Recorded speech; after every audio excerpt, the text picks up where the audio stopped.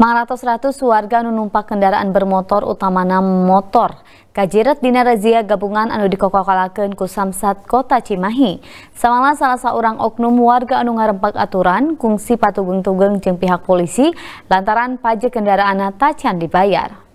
Nyakos kitu salah seorang oknum warga ngarempak aturan anu kungsi patugeng-tugeng jeung anggota polisi anu boga karep nindak dirina alatan pajak kendaraanana katoh yang tacan dibayar. Eta oknum warga kungsi adu renyom jeung polisi.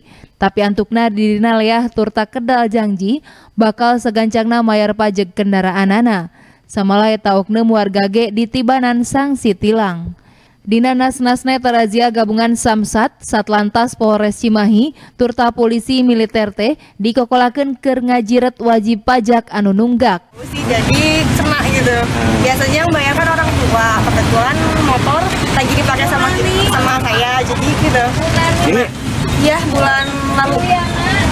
Sudah lewat ya? Iya. Ini sengaja, akhirnya bayar ya? Mang ratus-ratus wajib pajak anu kajiret razia di Sinamayar pajak kendaraan anak di tempat. Tapi upama tacan siap mayar, kudu ngesian surat pernyataan kasanggupan anak ke mayar pajak kendaraan anak sagancangna. Untuk tujuan operasi KTM ini kita ingin mengurangi masyarakat dalam peningkatan yang tidak membayar pajak. Eta operasi gabungan teh mangrupa salah sahiji tarekah pamarentah sangkan masyarakat lebih sadar ngenaan pentingna mayar pajak kendaraan.